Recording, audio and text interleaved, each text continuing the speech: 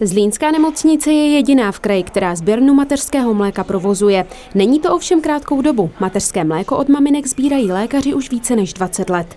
Možností jeho uchovávání i použití je hned několik. Buď je to čerstvé mateřské mléko, které používají e, maminky vlastně pro své vlastní dítě. Tady toto mléko vydrží 24 hodin v lednici. Pokud je e, použito e, mateřské mléko pro jiné dítě, musí projít pasterizací a e, pak tady toto mléko vydrží 48 hodin také v lednici. Mateřské mléko se může také zamrazit. V takovém případě vydrží 3 měsíce a po rozmražení se musí spotřebovat do 24 hodin.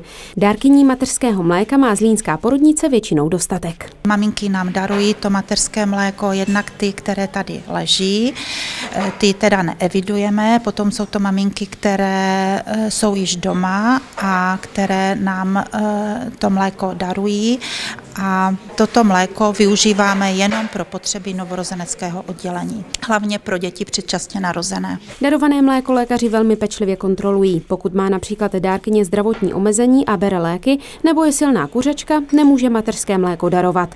Samozřejmostí je absence matek závislých na návykových látkách.